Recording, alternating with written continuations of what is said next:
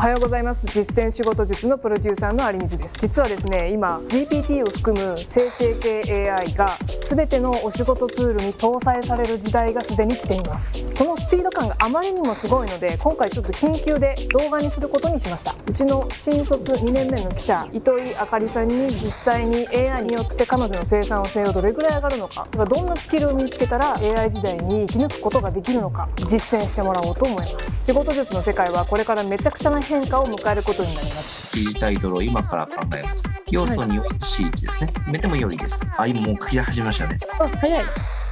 綺麗な文章を書くこと自体がこれまで価値だったんです。思考力知識だけでお金を稼げてきた人一番仕事なくなるかもしれない。こういったものをですね一個一個短縮するとですねこれくらいになっちゃいますね。帰れますね毎日の ToDo リストを消化できてます、トゥードゥーリスト終わったことない。終わったことない。で今日はちょっと AI を使いまくってる専門家の先生とちはい。ょっとオンラインでおレベルアップしてきます。お願いします。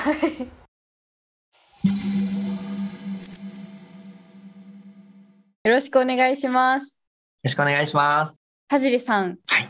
何者ですか？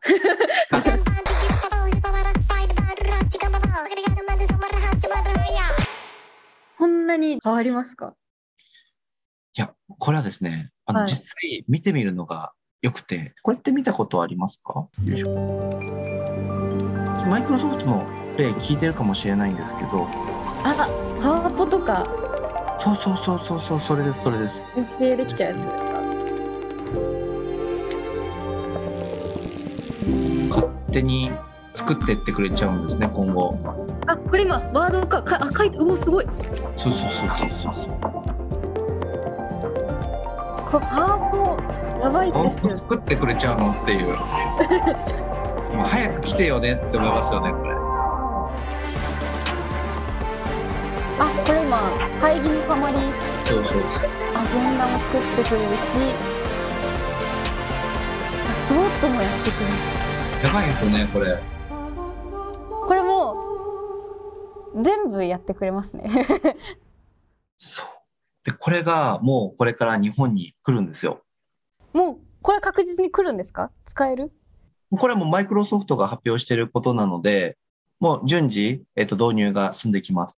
いい時代に生まれました。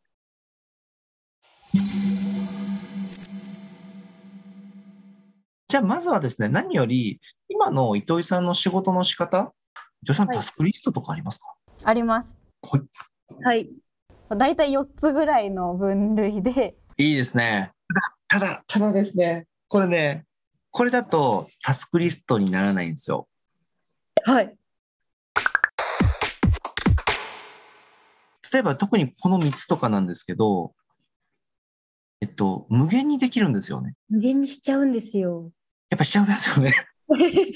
なので、目的を決めて、何をするかを決めて、時間を決めておかないといつまで経っても仕事終わらないっていう日々を暮らすことになると。今暮らしてるんですそうやって。いや、これね、糸井さんね、そんなに、あの、なんかこう、へこむことはなくて、こうめちゃめちゃへこみました今。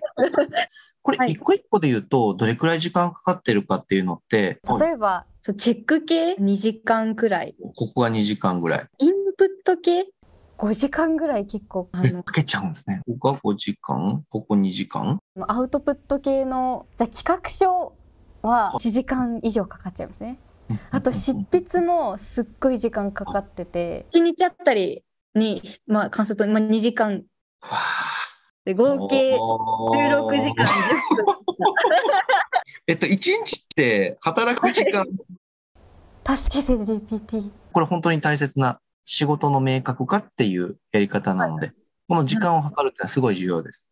GPT 使ってみるとどれくらいになるかなと、こういったものをですね、一個一個短縮するとですね、えーこれくらいになっちゃいますね。7時間？帰れますね。確かに1帰れます日で帰れる1ヶ月って私たちって160何時間、定時2回だったら働くんですね。じゃあそのうちメールの時間って何時間占めてるのかとか見えてくるわけですよね。仕事リストっていうのが、ちゃんと書ける人と書けない人とでものすごく差が出て。で、この1日1日の作業リストの中を GPT によってとか生成型 AI によって短縮できる人っていうのが仕事の効率いいよねっていうふうに言われるようになるっていう。じゃあ私のやつはタスクリストではなかったんですね、この羅列は。そうですね。あの、塊が大きすぎるんですね。これからの世界観って、チャット GPT とか生成型 AI が、えっと、私たちが思ってることっていうのを足してくれると。その中で、あ、これが世の中に刺さるとか、これ私好きとかっていう、えっと、出してくれたものっていうのを選ぶ。っていうのが人。じゃあそもそもこれ AI がやるべきことと自分がやるべきことみたいなのをちゃんと分かってなきゃいけない感じですよね。そうですね。タスクって、まず何のためにっていうのがあるわけですね。でその上に誰のとかっていうのがあったりとか、何回ってあったりとか、いつっていう形で、で、どんな作業をっていう形でやっていくと、タスクっていうのがちゃんと分解できていくと。なるほど。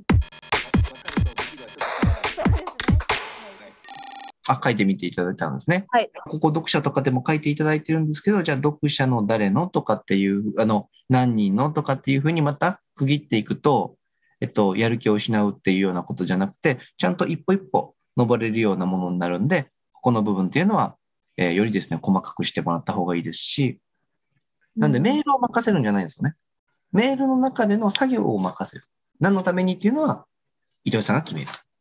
うんでもこれからの時代、この何のためにが決めれない人、作業だけの人になっちゃうんで。そこはちゃんと主導権握れってこと。はい、はい、ちょっと一から、はい、勉強させてください。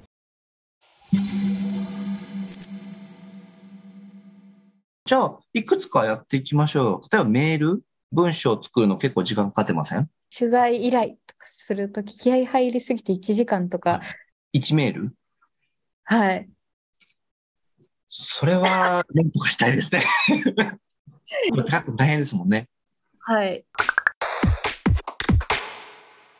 例えば、何のために、で、誰に、何を目的でっていうので、ちょっと教えてもらえれば、メールの文章を GPT 君にあの作ってもらおうかなと思うんですけど。TikToker のケビンズ・イングリッシュさん、まあ、若者代表としてかなりあのクリエイターとしてもあとビジネスもビジネスとしてもすごくうまくやっている。なぜ今これだけ活躍できてるのかっていうそういうきっかけとか、まあ、戦略みたいなところも知りたいなと思ってこんな感じの箇条書きで。GPT-4 だったらこれくらいでいいかと思います。1回目はですね、ちょっとちゃんと出てくるかどうかを見るっていうのがいいですね。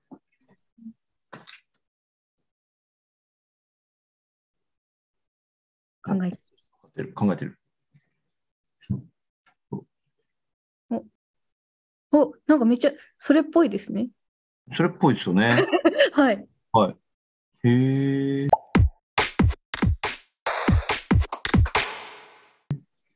なるほど。読者にとって非常に興味深いものと確信しております。うん、めっちゃいい。しかも相手に配慮してますよ、これ。そうですね。はい、あ、ちゃんとスケジュールも調整しようとしてくれている。すごい。これの編集でいいんだったら、1時間が10分ぐらいになるんじゃないですか？余裕ですね、これ。あの企画書もそもそもなんですけどどういう切り口で書くのかとか考えるところも手伝ってくれたりしませんか？あこれねむしろそれめちゃくちゃ GPT 得意スプレッドシートみたいな形でできるとすごく強いので。